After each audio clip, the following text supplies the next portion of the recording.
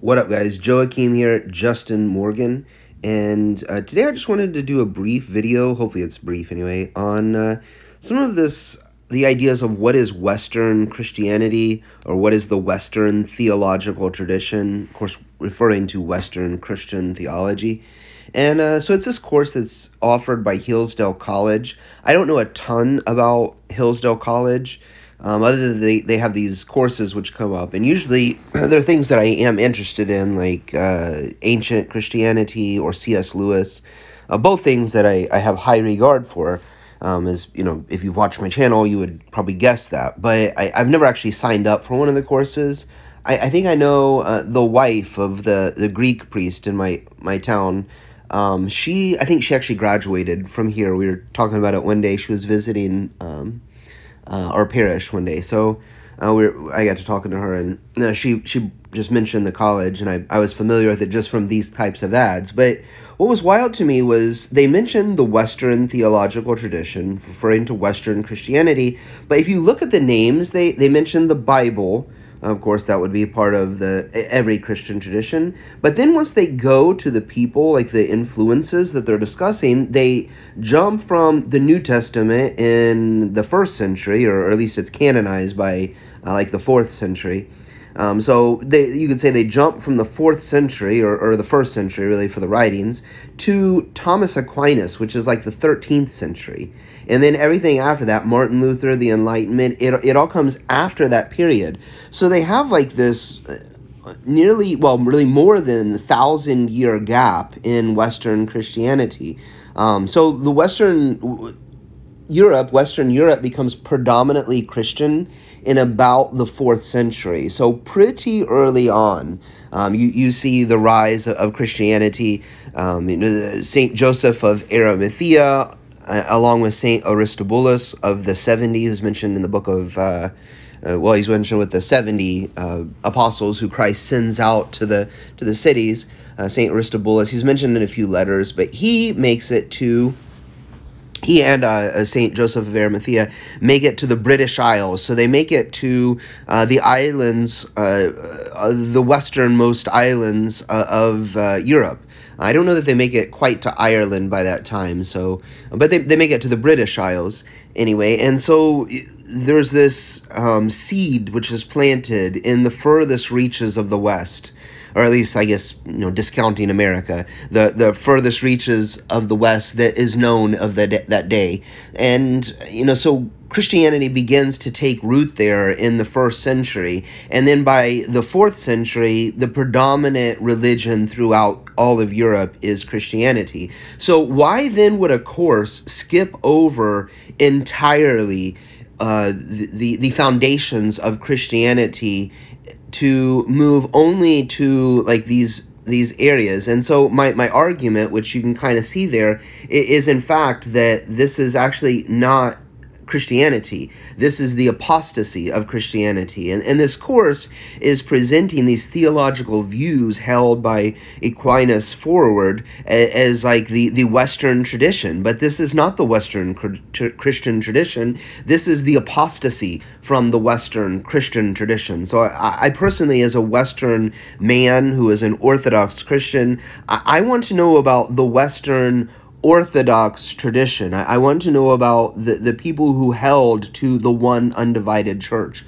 I want to know about the Western tradition that existed amongst those who were in communion with the East and the West, the Celtic Christians, the, the, the Christians of, of Britain, uh, and, and, then, you know, the, the, Christian, the Christians of Western the Western Christian tradition of uh, Europe, Western Europe more widely, whether it be the Roman Rite or, or you know the um, various rites, the, the Mozarabic Rite, or, or, or any of these traditions which were held in Spain, France, things amongst people that hold to theology consistent with today's Eastern Orthodox Church, which has not departed from that. And I would say Western uh, pseudo Christianity, I, I guess, uh, the, the modern Christian churches of the West are, are a representation of the apostasy from that one undivided faith, whereas the Eastern tradition, for the most part, has remained that. Of course, there are churches that have come from like the Jehovah's Witnesses and, and other evangelical Christian churches and, and um,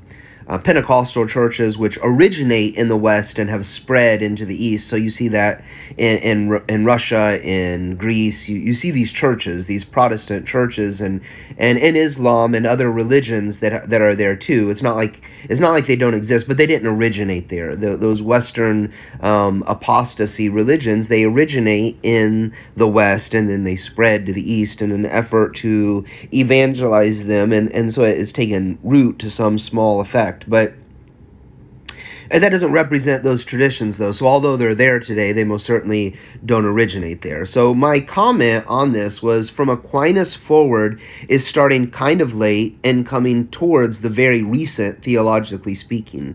The West was predominantly Christian by the 4th century, but this doesn't start this course is what I'm referring to. This course doesn't start until the 13th century I would consider the 11th century on a spiraling fall of Christianity in the West, but this course only looks at that period.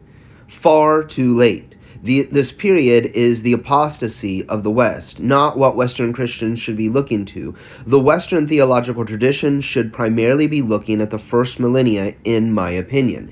And that is, of course, because it represents the one undivided church. It represents a, a fullness of Christianity having come to the earth. And, and that is a fullness which in the Eastern Orthodox Church we still enjoy. It has not departed. We have never departed from the faith. We have never uh, created new doctrines. We've never embraced New Age theologies and, and New Age uh, doctrines. We've never had to create uh, forgeries in order to support our episcopacy. Our, our episcopacy is a synodal episcopacy, which is the episcopacy that you see of the conciliar ecumenical councils. We didn't need a donation of Constantine. We didn't need any of these other forgeries to create the authority of, of our bishops. They stand as patriarchs alone. And then as we move on through history, we didn't need to reform. We didn't need to create a new church. We didn't need to.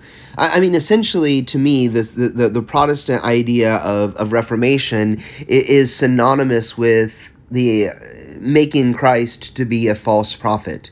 And and I say that because Christ says that I shall build my church upon this rock and the gates of hell shall not prevail against it.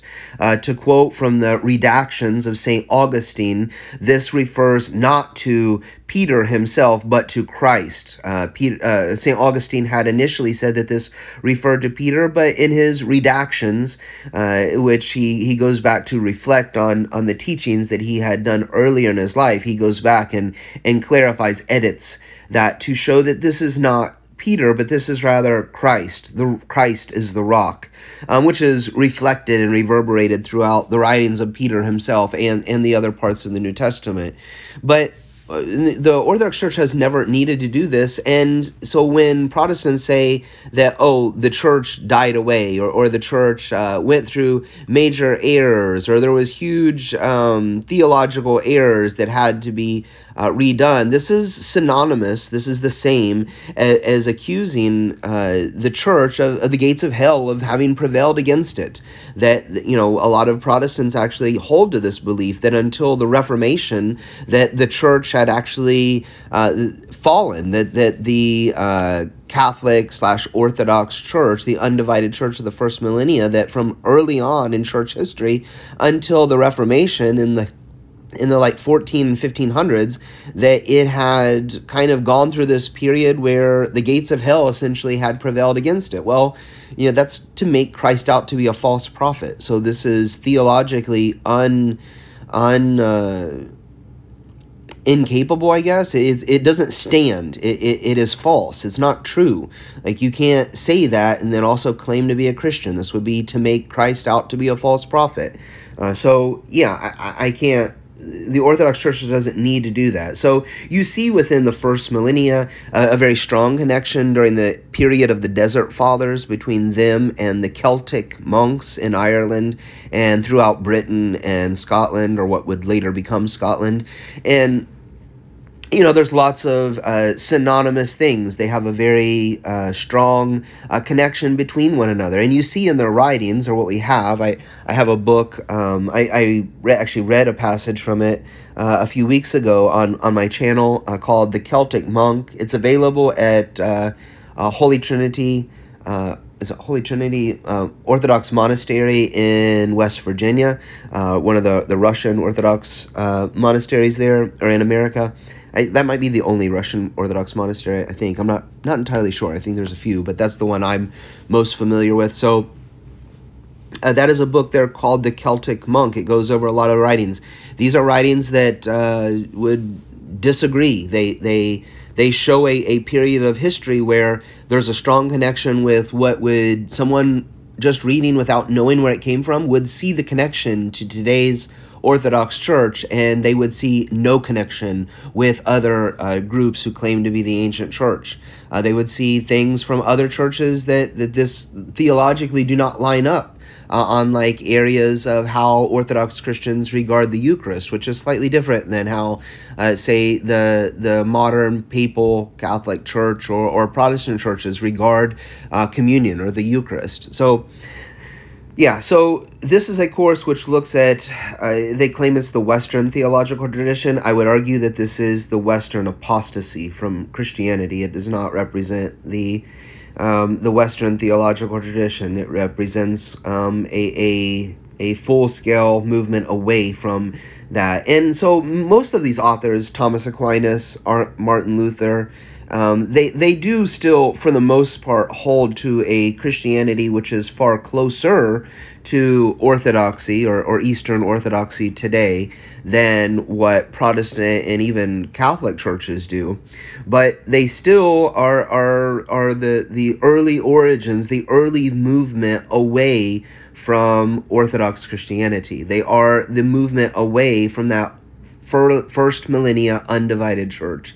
And that is why I have difficulty with this claim that these authors, these people, these writers, these uh, you know men who who legitimately probably were seeking God to the best of their ability. Thomas Aquinas definitely represents the most orthodox of the Western writers living in the 13th century. So uh, I will give him that. Martin Luther, for his part, represents probably the most orthodox um, person in German amongst German Catholic monks at the time. So, so I, I, I give credit where credit is due, but this is not still not by the the first century, uh, first millennia undivided church by a long shot. You guys take it easy, and I'll talk to you in a video coming soon.